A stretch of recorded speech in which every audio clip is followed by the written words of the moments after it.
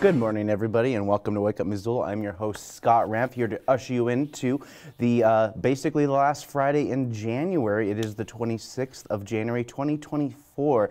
There's a lot of news, a lot of stuff happening, and I have a lot of city council to get, jump right into. So on Monday, 15 items were approved Monday, which included collective bargaining, bargaining agreements with public employees and city engineers for wastewater, various projects from water mains and basic infrastructure projects, Clark Fork River Access and Restoration CIP projects, which I did spoke, uh, speak about a couple weeks back in length uh, Dean Stone Mountain for forest consultant work on access and more regarding this.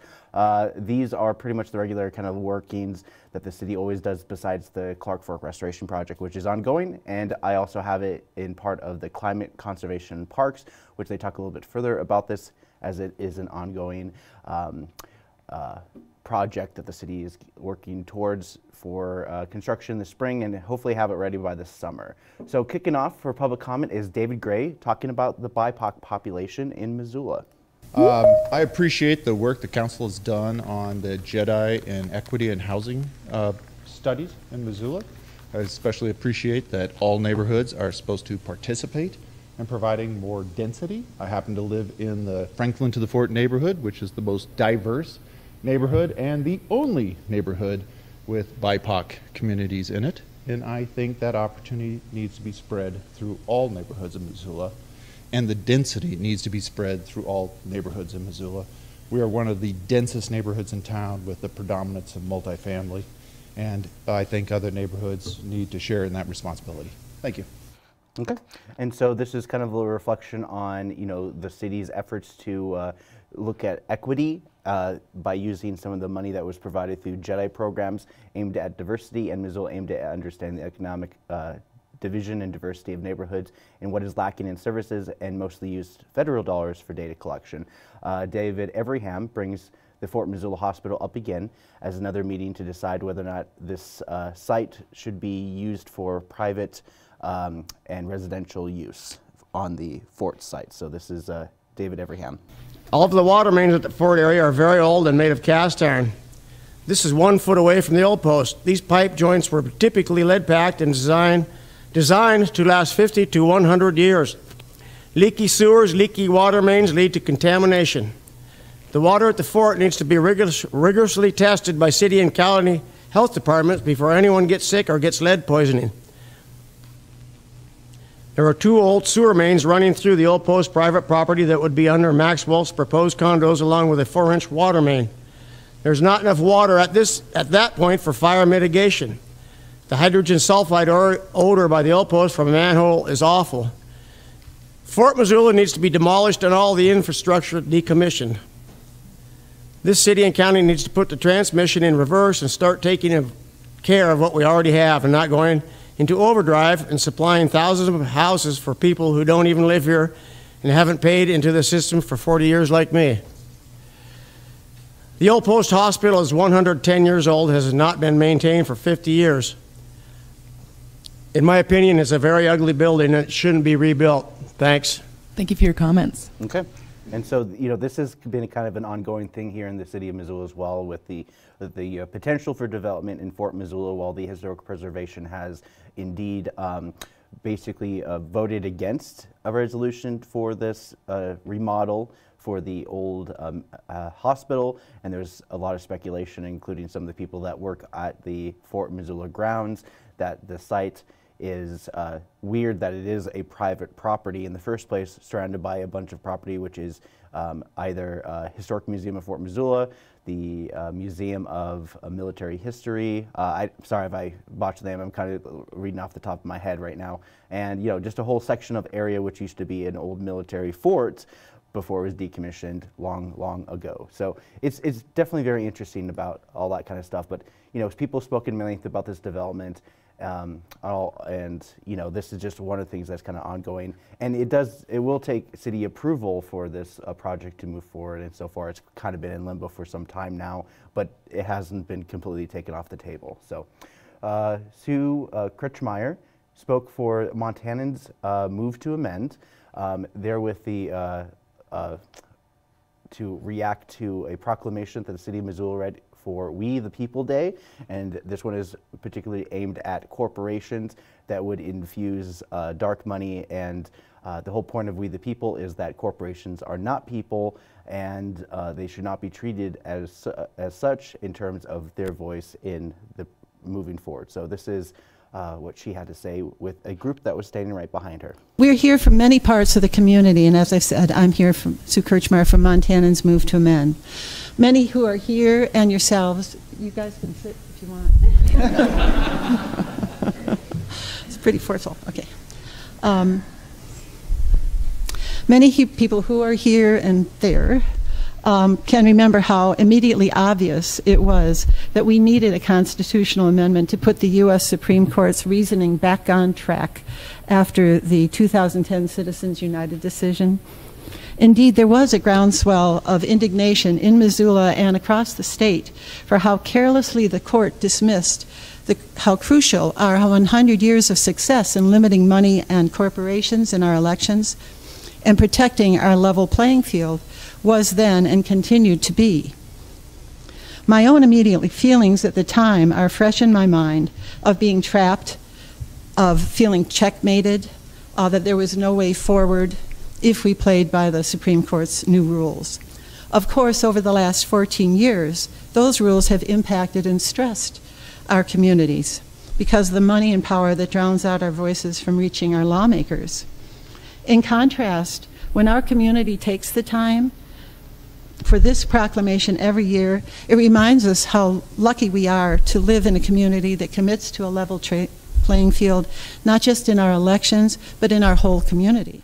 Okay, and the point of uh, a lot of that had to do with the fact that um, uh, since the 2010 decision, a lot of outside uh, resources can be poured into the state of Montana for the purpose of uh, political ads, all that kind of stuff, without any kind of limit or restriction.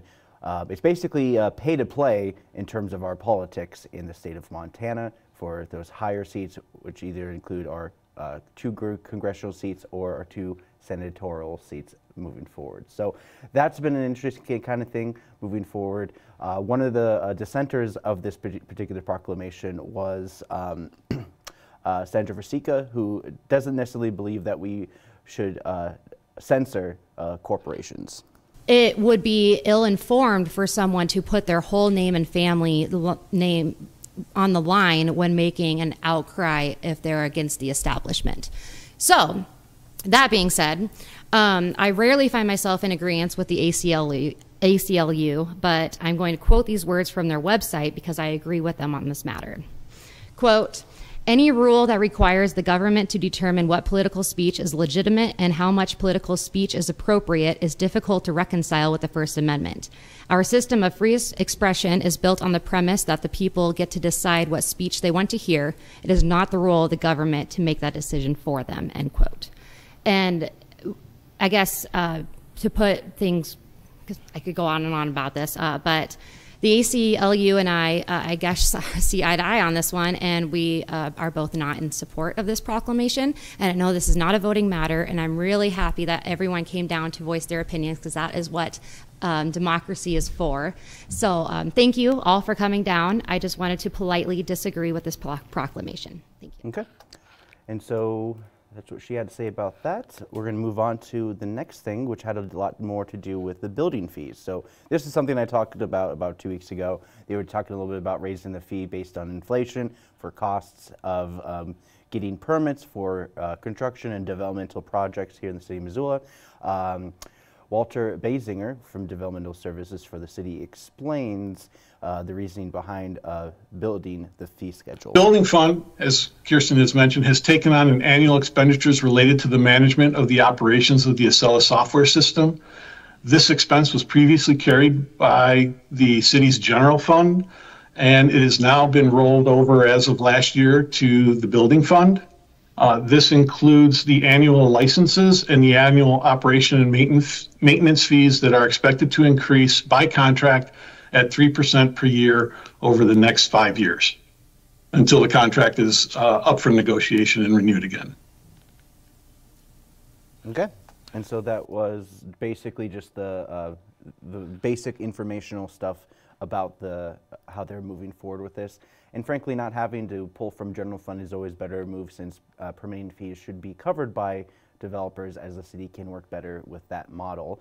Uh, Gene Mosted from Mosted Construction spoke against these uh, raises, and he spoke last time about the, uh, how everything else is getting expensive, and there's just just another uh, nail in this uh, particular um, effort.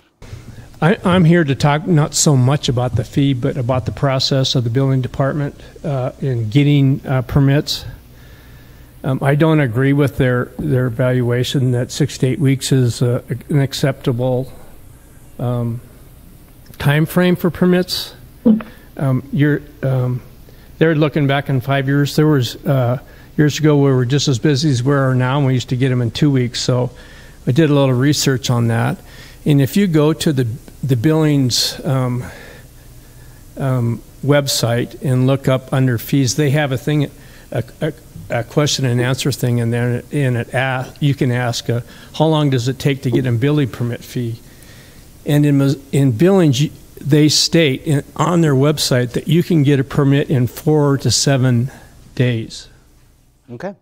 And also, if you, uh, we, we, when we look further into it as well, uh, the city uh, uh, rebuked by saying that um, uh, other communities across the state are paying somewhat between 15 to 30 percent more on permitting fees for some of these places. And so we actually had somebody um, who gave comment uh, that came with Gene. Uh, this is Brad McCall for Build Better and new Missoula resident talks about the process uh, with working with Missoula aside from working with Billings in which where he worked beforehand. The only permit I pulled here in Missoula was for a personal home for me, a remodel, and it took about six months. And um, there was a lot of, you know, um, there was some corrections that needed to be done. There was a setback issue that um, I didn't understand, but that was kind of a big deal. And I was kind of blown away. And I was going, well, maybe it's just this one time, but even six to eight weeks is a big deal um, in time frames. Uh, when we're trying to bring you know more affordable housing, uh, this is a critical issue. So I, I, think really honestly, the assessment of what the fee needs to be is, and if, if Billings is 30% more, that's fine. That works in our budget. Um, but what doesn't work is you know weeks and months, um, because you know if you're trying to decide what the market needs, um, you know another three months or you know six months doesn't work you know, I mean, you're trying to, because it takes another six months to build the house, so you're trying to decide what the market will need a year from now. So it's just really, really critical um, if it could be made a priority to make that time faster. That would be awesome. Okay, and so two things that are going against the city of Missoula. Uh, number one, first and foremost, is the uh, state mandated rezoning. So rezoning is a big part of how uh, developers figure out what they're going to be building in certain areas of the city of Missoula, city planning, all that kind of stuff. And another thing was the fact that, um, you know, just the demand has been so much higher to build in the city of Missoula, which re resulted in more applications, which means they have to do more work with processing it. And so the people who are in place, in many ways, it kind of does feel as though that uh, the city of Missoula does need to restructure their uh, uh, permitting uh, rates and how they do it, and be, basically be able to kind of restructure and potentially even increase the fees even more if that is the case for developers if they want to uh, improve their services for developers moving forward. And that was something they actually spoke about last year, in which they increased the fees based on that uh, I, I, you know idea of you know they need to more services provide, and a lot of developers at that particular meeting, um, though I don't know which one's particular, but I think it was WGA, uh, that development group uh, that does a lot of the construction and is also with the group that does, I'm, I'm kind of going, I'm giving you a little too much context to the background, but a lot of them were in support of being able to improve the process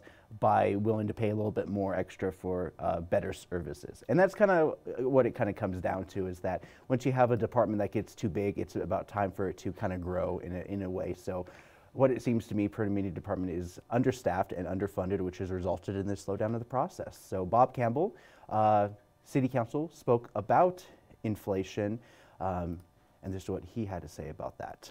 That's kind of a double-edged sword as I see it. Um, we look at the cost of housing, the cost of building materials, so forth for developers, uh, particularly in recent history, has really driven up the price of housing, and that's a concern of mine. I think affordability of housing is a concern of constituents of mine. Um, That's why I'm here to represent.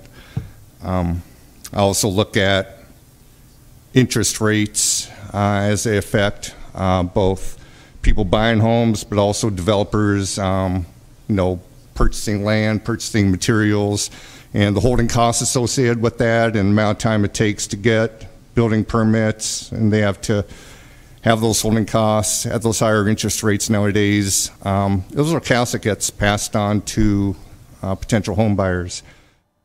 Yep, and that's a good point right there. You know, you want to increase the fees and all that kind of stuff and make it easier for those for growth to happen. Uh, you have to also take into account the costs of living with moving forward. So even if we do potentially increase the fees to be able to um, fast track a lot of the permitting process, that won't necessarily make the prices even better for a lot of the developers who wish to potentially create the affordable housing that the Missoula has been um, seeking for quite some time now since the end of the pandemic. So uh, we're actually going to move on. We're going to check out a little bit about uh, this is actually more about uh, the process in which, hey, if you have a venue, if you have a venue in the state of Montana, you're basically allowed to uh, partition and allow for the use of wine and beer, uh, no liquor because liquor licenses are expensive and they uh, fall under different guidelines. But the state of Montana allows for a tavern uh, tavern code kind of deal. So it's essentially what they're planning on doing, and so they're trying to look for a new tavern zoning to approve for the 1200 Shakespeare Street. If you know this address, it is uh, essentially where Westside Theater is, and so Kelly Boma from Westside Theater talks a little bit more about this uh, tavern uh, request for the city through the state. License we are applying for is through the state, and it's a nonprofit.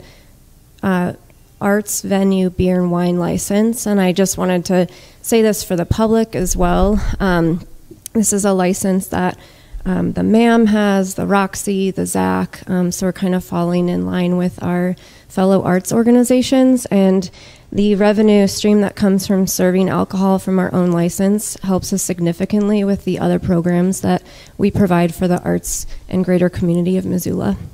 Um, and, and, for the most part, one of the things they also wanted to mention too is that with the tavern um, uh, license and everything like that, they're usually you're not supposed to serve uh, alcohol, beer, wine for this particular tavern thing after a certain time.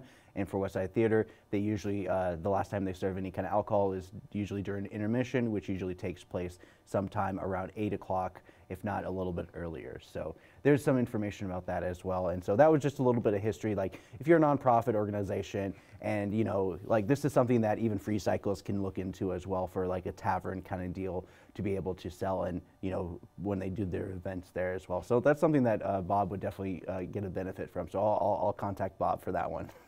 Um, so Bob Campbell at the end of the meeting I spoke about an officer, Jerry Alden, uh, Odlin, who uh, came up with him during their uh, rookie and their uh, probationary officers back in 2000. Last week, he lost his battle with uh, cancer.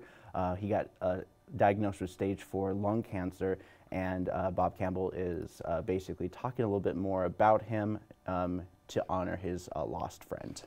My condolences go out to his family, his wife Sherry, um, children, uh, his brother Chris Odlin, who is also a police officer in the department, he retired a, a detective, or excuse me, a, a, captain a number of years ago. Um, condolences as well, of course, the Missoula Police Department as a whole. I mean, it's it's huge loss for them. Uh, it's going to take some time to work through this, I know. Um, but I, I, I, take some comfort in the fact that you know, particularly a case of, you know, his wife Sherry and, and the police department. You know, police department's a family. And I know firsthand from my personal experience, that family is going to be there for Sherry, for the family going forward. And um, it, it, just, you know, that, that's one of the great things about that law enforcement family that, that was there. Uh, was there for me in my time of need. I know it's going to be there for um, the Odlin family as well. So, um, Godspeed um, Jerry, and um, I'm not saying I'm going I, I miss you. All right, let's move on. Uh, we're going to jump right into your committee meetings. Uh, I wanted to uh, mention that uh, committee of the whole, they spoke about drafting a resolution for an immediate ceasefire in the Israel-Hamas war. And so far, Kristen Jordan talks a little bit more of the background and the reasoning behind this uh, uh, basically resolution that she wants to pass. It is really okay for municipalities to weigh in on matters of of human, where there's a humanitarian crisis for which we have no way to influence it, just as a matter of saying that as a city we stand together to support these victims. Um, and the wording of the original resolution was a little more pointed than this one is. Uh, because of some of the language, I think people were worried that it does mean that we're taking a, a, a more specific stance on, on this issue. But um, yeah, just as a summary, as an elected official, people who voted for me, this was important to them. And all right, and so that uh, was some of the reason behind this uh, resolution. We also have a uh, public comment from Brendan Work. Um, he is with the organization Montana for Palestine, and he spoke a little bit more on this topic. So we're forced as Missoulians to hope that largely symbolic measures such as this one uh, will put pressure on those representatives, particularly because one of them is the chairman of the Senate Subcommittee on uh, Defense Appropriations, who can, according to Israel's top generals, stop the killing almost single handedly. Um, now, of course, even if this resolution fails to do that, I believe it would succeed in sending two strong messages. First, that Missoula as a city is innocent of our federal government's actions and does not endorse, nor do we as Missoulians, the continuing slaughter of over 25,000 Palestinians and 1,000 Israelis. And second, that Missoula is part of a larger world of people demanding peace and justice in the region. As I'm sure you've noticed in your lifetimes, as I have in mine, uh, Missoula has become a much more global city than it used to be. 12 years ago, all of my students were born in the United States. This year, I have Syrians, Egyptians, Tajiks, Afghans, and Koreans. Um, I don't think the city needs to take positions on those countries, or indeed on Palestine. But in my opinion, it is time that we affirm Missoula is a city that is part of the world, can take decisions regarding global affairs. All right, so that was uh, Brendan Work talking a little bit more about some of the background and some of the reasoning behind this resolution. Mike Nugent, City Council, made a resolution to table this discussion because this resolution would have gone to directly to uh, City Council for Monday. Um, that was voted down, and then Mike Nugent talks a little bit more about why he wanted to table this uh, specifically just because uh, it's definitely too big for little Missoula to kind of handle. Have indicated, and there's a lot of people who who have stances that are guided by expertise that support every angle of this. Um, and so I wish we could take more time, and I would like to take more time because, frankly, the the idea of council weighing in on on uh, matters on the world stage should be something that we give more than 20 minutes to and it should be something that is that's a conversation where we have you know people who are experts in the field come and be part of that conversation. If we're going to take the time to weigh in on something like that, it shouldn't simply be um, anecdotal opinions from from some of us reading things, uh, you know, a passionate uh, individual on one side of the issue. I mean, we should be opening that up. So I, I support peace, and, and I helped craft this to get where it is today, and I have no problem with it. But I think that this is not nearly enough time to discuss something like this. That All right. And so that was uh, Mike Nugent's uh, response to this uh, particular topic. Um, nothing changed on this item. We'll live on for, to further discussion. And, and, and, also, I just wanted to mention this in terms of news um, happening out of the whole uh, Gaza-Israeli thing was uh, coming out of South Africa. The uh, ICJ, the International Courts, uh, requested that Israel provide humanitarian aid and must prove without a reasonable doubt that their actions in Gaza has not reflected in the accusations that have been formalized in their vote which overwhelmingly supports the Palestinian people as they are inching closer to genocidal actions on the part of Israel. Uh, they read many of the quotes from top official Israel official force over the course of the 100 plus days this war has been ongoing, and so far ICJ fell short of outright asking for a ceasefire and gave about a month to, uh, for the IDF to improve their approach and provide humanitarian aid as uh, ASAP, essentially. And so it's a, definitely a big blow to the in the international community against Israel, but at the same time, it hasn't uh, outright asked for a ceasefire on that end. So that's kind of like what it's kind of up in the air. There's going to be a lot of information coming out over this morning as well because literally the South Africa ICJ announced this just this morning. They had like a whole uh, live stream through Associated Press around 3:30 a.m. this morning. So I got a chance to get a little taste of what they were talking about while I was having breakfast. So we're going to move on to uh, climate conservation and parks, and yet again they're going to be talking about the development of the um, uh, the Clark Fork River from Madison to Caras Park with the idea of uh, restoration slash mitigation projects to help uh, improve the uh, in investing around the area to uh, mitigate erosion or along the banks of the Clark Fork River. Nathan McLeod, Parks and Rec, talks about the qualifications of this development, and Morgan Valliant a little bit more with the open space approach for this. With a uh, design consultant team, that's Respec is the company. Went through a, a, full RFQ, RFP process to get someone who's qualified to do this. They have provided their recommendations in their design as to how to design these. Um, they've done this all over the state, all over the country, and so we're kind of following the recommendations of that consultant team as to what the best practices are for making sure that we're creating something that's going to be stable for all sorts of different high water events. Um, and then, uh, Morgan, do you want to jump on and answer any more of that? Yeah, thanks, Nathan. Um, I think it is worth knowing that this this team that we're working with, um, you know, we've been working with them now for three years. They um, do include engineers that actually built uh, Brennan's Wave and the access point in Caras Park, and so we we've got folks that have you know decades of engineering experience within this reach. Um, we also are going to have to get um, both uh, state, local, and federal permits for this work, um, and especially for you know um, specific to to Caras, which is a larger access point in both scope and scale, and also engineering.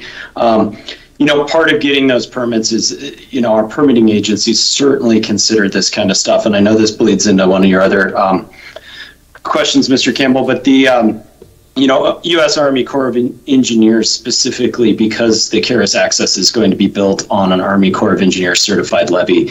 Uh, it will be going through additional engineering review as part of our permitting process. All right, so there's a lot of uh, uh, uh tape they have to get through before they get the final uh, go ahead at uh, improving the area, not to mention creating ADA accessibility through Caras Park to the Brennan's Wave and beyond. So it's going to definitely be a major improvement as that. And he did mention Mr. Campbell, Bob Campbell, City Council was concerned about the best laid plans, and so far the folks on the project have uh, double dipping into restoration and mitigation in further use in the form of access points throughout various banks from Madison to Caras Park, where main access points for folks who fall under the Americans with Disabilities Act. Uh, the Park Embankment is a phased project which kind of started with the Bear Track Bridge, improving thing, got rid of the giant hill that was there. I do miss it personally. That's just my own personal opinion on that one. But um, Mo Morgan talks a little bit more about the open space bond and uh, gets further into some of the details in terms of how this came to be. I think the open space bond funding side of things, you know, this really doesn't fall within uh, the purview of the county open space bond. The county open space bond also um, they just they determined that they were just going to use that money, their $7.5 million for land acquisition, not for capital improvement projects. So there's a fundamental difference in how that money could be spent at the county level. But it is worth recognizing that river access through this um, reach and reaches upstream of town and downstream of town is a larger community collaboration and effort, and we are working with every partner you can imagine to make sure that we're doing right by the river and providing good uh, recreational opportunities.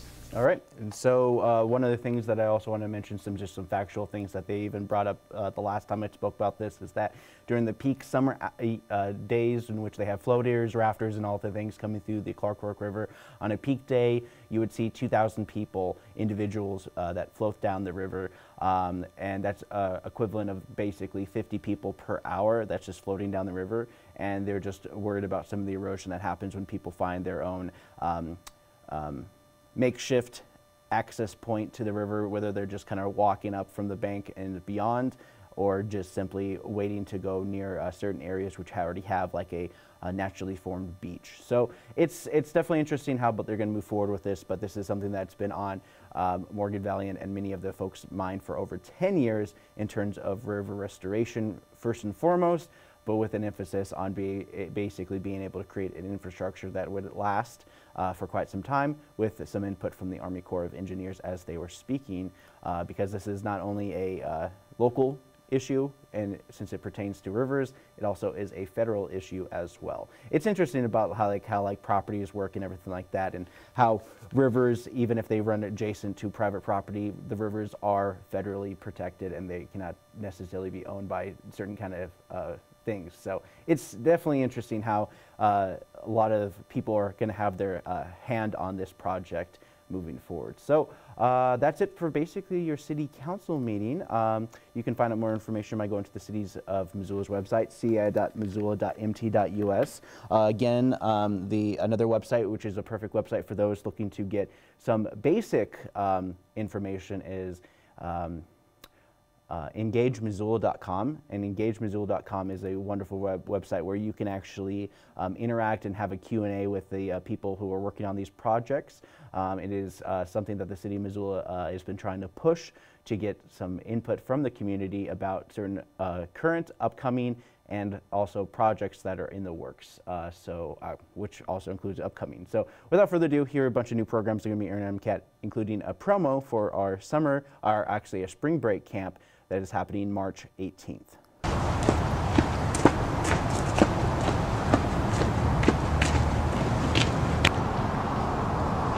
I have defeated the enemies of nature. I have come here to serve you.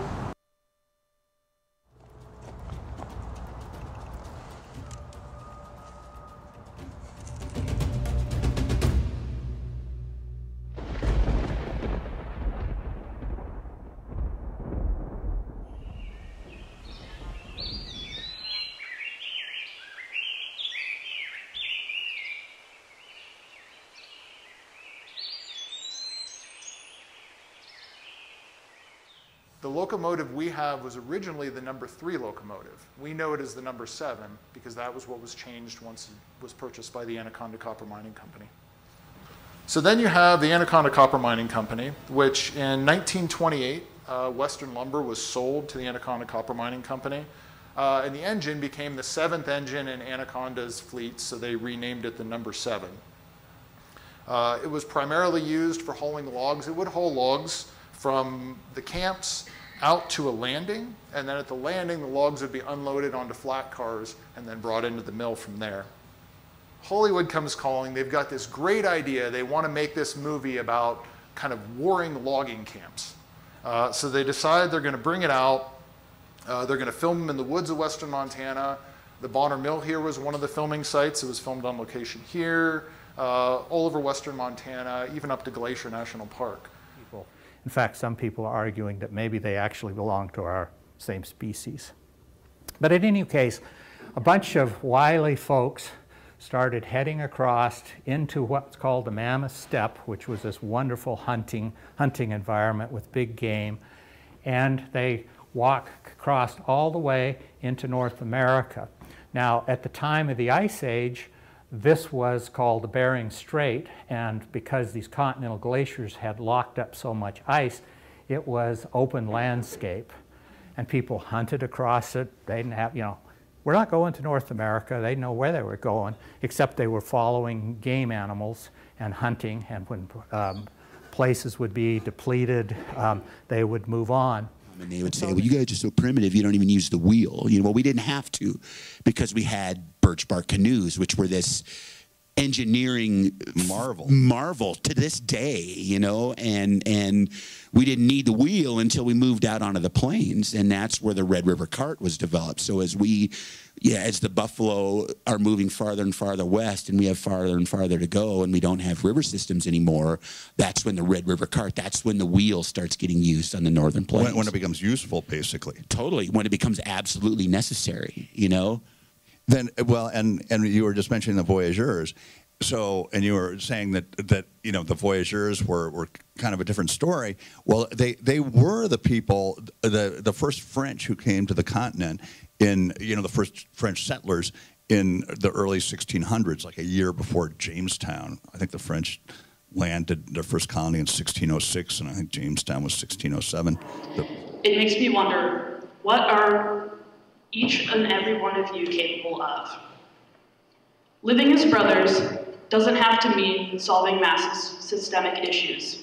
One of the most powerful tools we have is our voice, and more so, our actions. If you're old enough, you can vote. If you're not, you can still contact and reach out to representatives because they make the change in our legislative bodies. If we convene here today to appreciate and applaud his work, then we are the kind of people who can be change makers ourselves. Being here today shows that you are ready to do the work. But with the help of all the amazing teachers I had and endless support that was given to me, I made it through all of high school.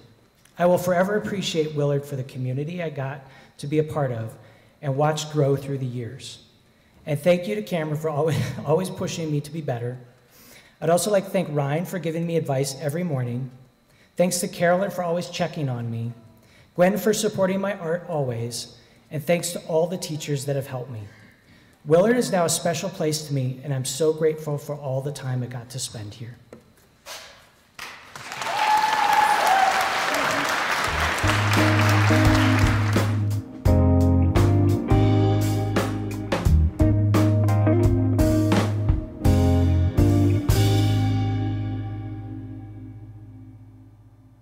Uh, yes, it's always important to promote some of the uh, local programs that are uh, uh being recorded and aired through MCAT. You can find out more information by logging on to MCAT.org, like you saw right there in the last promo. Uh, we also have our channels on 189 and 190 through Charter Spectrum. So I suggest you guys check out that. Uh, before I jump into your pre-critic, where I prejudge a movie whether they need it or not, I'm going to be uh, prejudging the weather as it looks like it's getting warmer and warmer with a uh, Monday forecast of essentially uh, nearly 50 degree temperatures in the city of Missoula. We're like in the dead of winter, usually end of January, early February, just in time for Valentine's Day. Probably be one of the colder days of the year for many reasons or uh, no reasons whatsoever.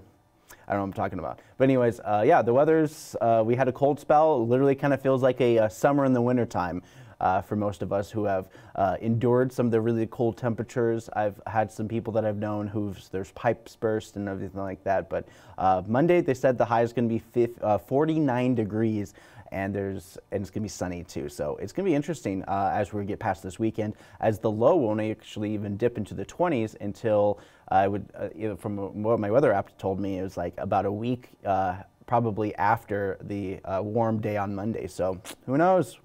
Oh, we might even have that warmer day on Sunday. I always know that uh, when I look at the weather forecast, it's like when I look at the days and there's like a couple days ahead, I was like, okay, I have to minus a day a lot of times because it always feels like the weather uh, is a little bit faster uh, when it comes to the forecast. So, anyways, let's jump right into movies that are coming out this weekend. And why not start off with a Bollywood ripoff of the movie Top Gun, uh, which basically is a, yeah, it's exactly what you think it is. It's uh, has everything that you need from a Bollywood movie. Uh, steaks, uh, plenty of things. Uh, life is like a box of uh, Golgappa. You never know what Indian remake of Hollywood blockbuster you're going to rip off. Uh, this is just Top Gun, but produced by the Bollywood.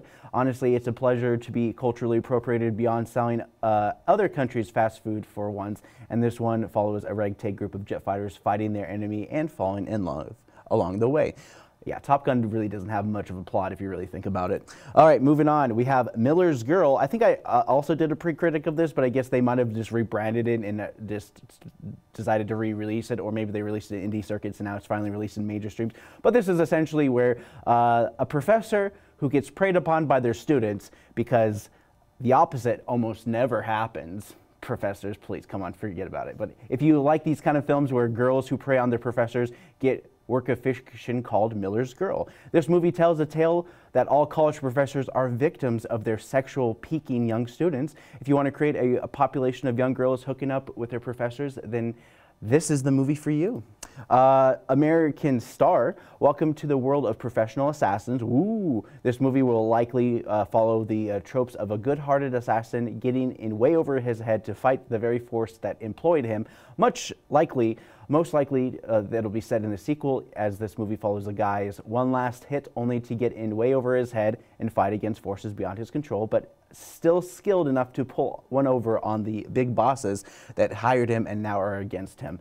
Uh, this next movie is um, uh, it's it's called Sometimes I Think About Dying. This is one of those films that will would not get well promoted online because of the ban on the unaliving term, because of the internet will gaslight you into living for purposes of selling you online therapy. So basically, it is a simple drama about a girl who has given up on love and life as she meets a new love interest that will solve all her problems. The end. No, uh, I believe this drama Oscar bait film was meant to teach people about self love over the burdens of some of us pose on our partners as we become more selfish and lazy. Can't wait for the next product to buy. All right, so those are the movies that are coming out for your weekend and more. Up next, we have a redub movie from the 1936 movie Sweeney Todd. I believe I've done this before, but I'm bringing it back for a redub for you guys today. Okay, make sure there's plenty of poofs on my white dress. I want to look like the Michelin man, okay? Don't you want to show a little skin at least? It's not inappropriate, but something that's tasteful. Hmm, let me educate you on high society. Oh, I love being talked down to. At least you can buy some napkins. I'm cleaning with Kleenex. No. Oh, I didn't know that Richmond only had imagination. The more you hide, the more the imagination, darling. If you can remember that, you can find yourself a rich, uh, middle class, up lower middle class husband. Shut up. Sir, if we don't solve the climate change problem, we won't be able to save the snails. And done. I just solved all the problems by ignoring them.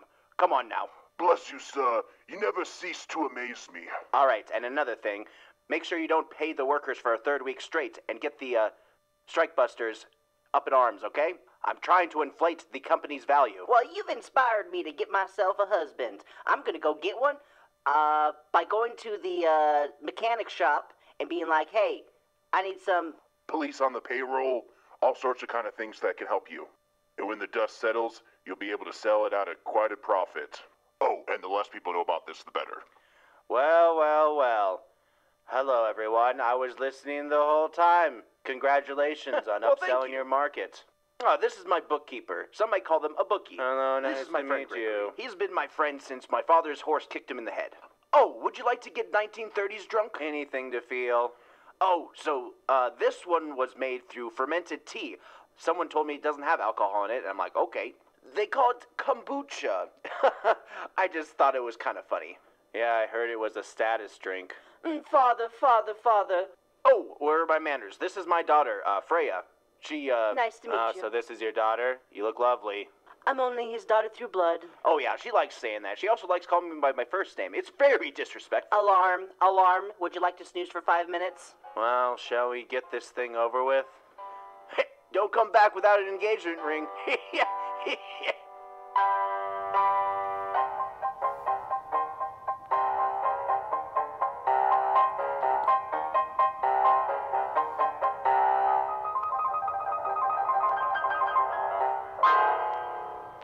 All right, welcome back. We're going to talk about some events that are happening inside the city of Missoula. If you're interested in going out and about, there are all sorts of things happening in the uh, Missoula area as it is downtown down, uh, downtown Dine Local Week.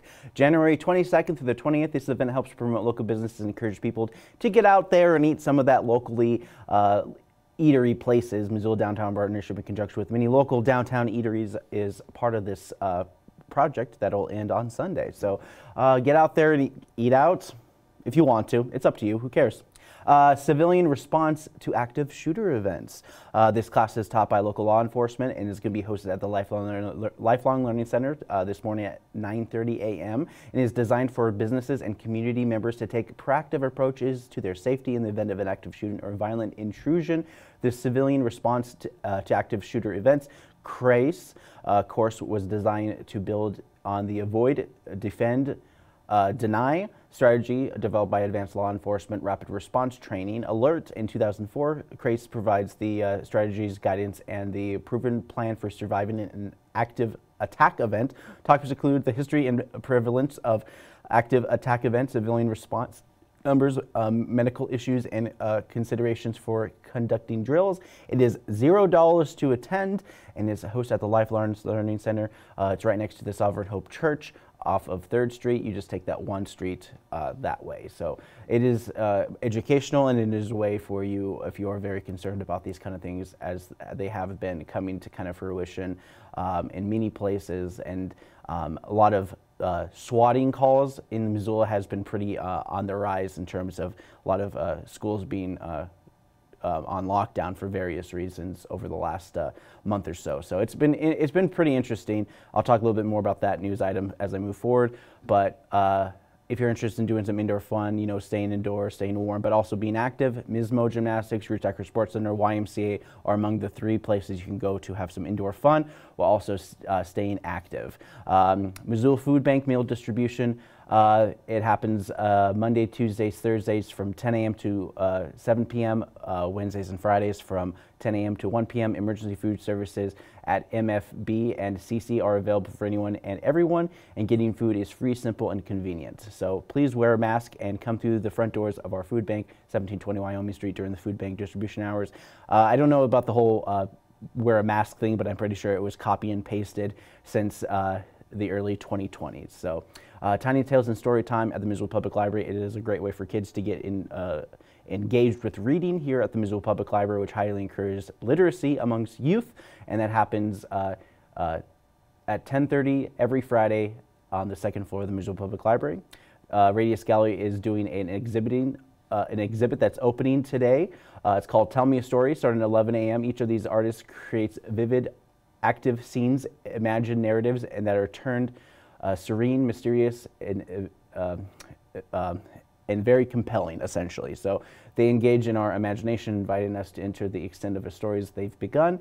This title is a story drawn from the 1969 poem Tell Me a Story by Robert Penn Warren, and they can join for the opening reception from uh, uh, tonight from 5 to 7 p.m. Everyone is welcome. And so they'll have the installation uh, installed at 11 today and open for anyone to view, but then they'll have the event for people to enjoy and meet up and greet um, from 5 to 7. Yarns and Watercolor, 12 noon. This is a uh, ongoing event that happens on the fourth floor of the Missoula Public Library.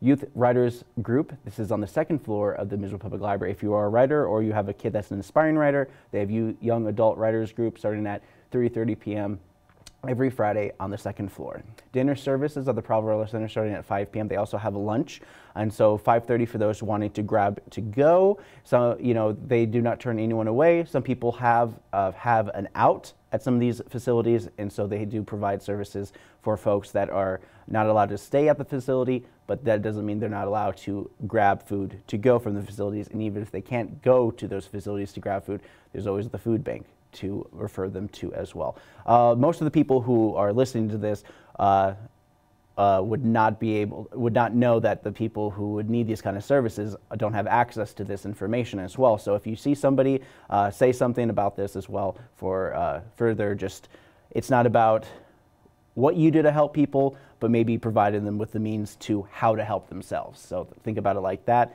And, you know, it's just information. It's, it's free. Uh, Andrea Herschel is going to be playing at uh, Imagination Brewing Company starting at 6 p.m.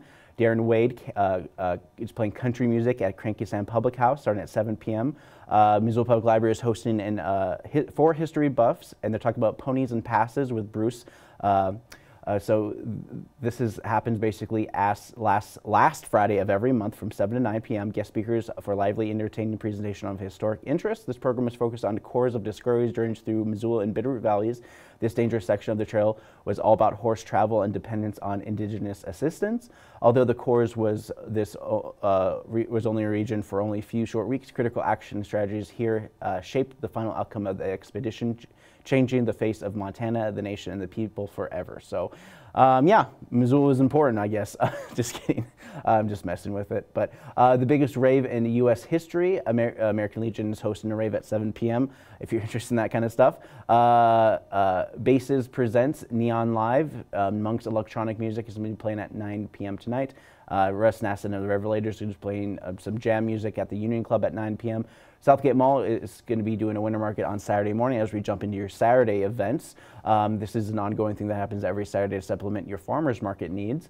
Biochar charcoal making workshop, and this is Bad Goat Forest products for the interactive workshop where you can learn to create your own biochar charcoal. This final product can be used for many purposes, whether you add it to your garden to uh, neutralize acidity, improve water uh, retention, or throw it on the forge for blacksmithing They'll transform old boards into this useful carbon-rich material, and this is at uh, Bad Goat Forest uh, Products. I've never actually heard of them before, and it's worth checking out if you're interested in making your own charcoal. Um, introduction to beekeeping classes, Missoula Public Library on Saturday starting at 10 a.m. This is a 10 to 2 p.m. class. This is introduction into beekeeping. If you're interested in beekeeping, Missoula Public Library Place is the place to be, and it starts at 10 a.m. on Saturday. Uh, a musical quest at the Missoula Public Library also is happening for, let's say you're going to learn about um, um, bees and stuff. The Missoula Symphony is doing a musical quest with symphony musicians as your guide participants take a magical journey through the music um, instruments um, featuring a lot of the music from um, Harry Potter. So it's going to be very interesting. This free program begins in the Imaginarium where music director Julia Tai will be conductor for the journey, free and open to the public. And they'll also be playing their symphony performance in the annual family concert at the Dennison Theater at 3 p.m. on Saturday. So uh, back to uh, other things that are happening. Fort Missoula is doing a Mullan Trail District Cub Scout uh, Klondike Derby starting at 10 a.m. at the Fort Missoula. Museum, museum tour at the Missoula Art Museum at 10, 11 a.m. every Saturday. Uh, Travelers, Travelers Rest State Park, uh, as soon as January hits, they're going to do a couple weeks of this kind of stuff. And so they're going to be featuring Deborah Magpie Earling, who's going to be featured at the Storytown at Travelers, Travelers Rest. MCAT will also film this event for future production. And so we'll probably be showing that during my promo segment where you see a bunch of the uh, local programs that MCAT has filmed.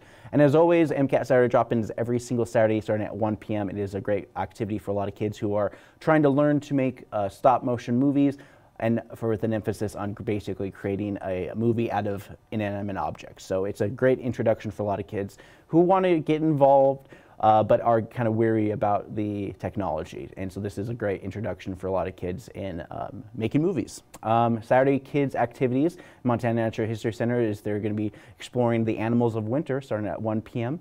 Um, so you have a choice between MCAT and uh, the Saturday activities at the uh, Montana Natural History Center. So uh, choose wisely. All right, moving on. Singer-songwriter showcase at Imagination Brewing Company starting at 6 p.m. on a Saturday. Um, John Floridis is going to be at the Old Post playing some acoustic music at 7 p.m. on Saturday. Caught in a Jam is going to be at the VFW Post 209. Uh, it's going to be a jam band starting at 7 p.m. Comedian Jordan Jensen at the Badlander at 7.30 p.m. You don't see too many shows at the Badlander, always worth a, a, a nice peek in. Dueling Pianos at the Josh Farmer and Kyle Curtis at Stave and Hoop Speakeasy. Um, sound, uh, karaoke at Westside Lanes. Rendezvous is going to be at Monk's playing some electronic music. Uh, Union Club is playing a jam band called Jackson Holt. Uh, DJ Chris Moon is every Saturday at the Badlander. Um, and that pretty much wraps up that. They, and also Sunday, I wanted to um, talk a little bit more about this because they're doing a uh, at the Senior Center is the Five Valley Accordion Jam and Dance. So if you like accordion music, this is the place to be. And it starts at 1 p.m. at the Missoula Senior Center, which they have daily lunches starting at 11:30 a.m. Monday through Friday. Uh, very funny uh, weekly comedy open mic. If you are a comedian or aspiring comedian, they have open mics every Sunday at 8 p.m. at the VFW, in which they'll be also doing various other things um, on Saturday night with their jazz uh, with their jam band caught in a jam uh, for an open jam for musicians at Post 209, which is downtown Missoula, right next to Biga Pizza. All right, so that's a pretty heavily promoted uh, um, VFW. I don't know if there's any anything much about the news I want to talk about. Although I did want to mention um, that one missing gal who's been missing since uh, December 20th. Let me go find my notes about this. Um, Sorry about that. Eva Mason uh, Prather went missing December 30th somewhere in the Rose Park area now. Searches as far as billings in the form of billboards across the state in which a lot of organizations and companies have uh, leased out their uh, billboards for free uh, to uh, help expand the search. It was a very out of the blue moment when the mother of two just left her home uh, without her wallet and keys along with her family convinced that she was not dressed for the weather. And this is before the cold spell that happened. Eva is a 43 year old white woman who is five foot four talls and wears uh, tall and weighs 125 pounds. She has blue eyes, brown hair. The information you, you in, in, to assist the investigation call the Missoula Police Department 552-6300. Again, that's 552-6300 with the area code 406, of course. And the uh, reference code for the number of the uh, case is 2023 56 230. Again, that's 2023 56 230 for their reference in terms of this case. Um, and then, you know, uh, let's see. Uh, let's see. There's, I don't know if I want to talk too much about the, uh, the news that's happening because I'm kind of wrapping up and I'm strapped for time. Uh, yeah, I wish I would have talked a little bit more about this, but uh, yeah, there's a lot of interesting stuff as well. There was a highlighted piece about uh, glass recycling in the city of Missoula that I wanted to kind of get into. Uh, Missoula Current reported on this a little bit more about how the city of Missoula very lax in any kind of, uh, of recycling in terms of glass. But of course, since 2018, the city of Missoula has the opportunity to recycle glass through Recycle Works, which uh, unfortunately they don't actually recycle the glass. They actually take the glass and they bring it down to Salt Lake City for recycling. Um, the state of Montana doesn't have any kind of major recycling refinery to be able to do this kind of infrastructure, kind of, oh, not infrastructure, but be able to recycle a lot of these kind of materials. Um, we do have recycle for uh, cardboard and steel, all that kind of stuff through Pacific, but they stopped doing glass many, many, many, many years ago. Um, and yeah, for the most part, transportation costs are one of the reasons why uh, glass was just kind of deemed as just pointless to recycle at that point. So that's one of the things, and they talk a little bit more about this as well. Um, I did, did want to talk a little bit more about the concept of swatting. Um, I do a little bit more time as I was mentioning that they're doing a class at the Lifelong Learning Center. They do a lot of classes. This is a free class the police department is putting on, and you know, it's one of the things what to do in an active shooter event. But nowadays, it kind of feels as though there's a lot of uh, swatting calls, and the swatting calls have tended to be uh, bomb threats or calls to schools that there's going to be a threat. And usually never amounts to really much of anything, but it's been uh, at a frequent level to uh, people are kind of getting tired of being uh, dealing with this kind of uh, threat, which not to be believed to be credi credible. Missoula County Public Schools is working to notify staff and families of how district plans to proceed with regular school schedules and you know many things. It's just it's just kind of interesting for sure about how uh, people are doing this kind of stuff. Um, and it's, it definitely gets harder and harder to track a lot of these numbers, especially if you uh, have uh, various types of apps for your cell phones that uh, essentially create a new number um, with that information. And VPNs are so hard to track a lot of times, especially if you have some people with a certain level of savvy to be able to do it. So there needs to be, uh, it, yeah, there, it's definitely interesting about the, you know, with cell phones, the caller IDs and stuff like that. But I'm kind of going off on a tangent. So uh, yeah, so that's basically what I want to talk about for my morning show. I never know how to quite end my morning show. I just kind of just uh, abruptly end it for the most part. So I wanted to thank you guys for joining me for this morning. There was definitely a lot of information to get through, um, a lot of things happening. Uh, it's going to be an interesting weekend, and I'll see you guys for your first Friday into February next week. So with, without further ado, for Wake Up Missoula, I'm Scott Ranf. Enjoy this little uh, space wave.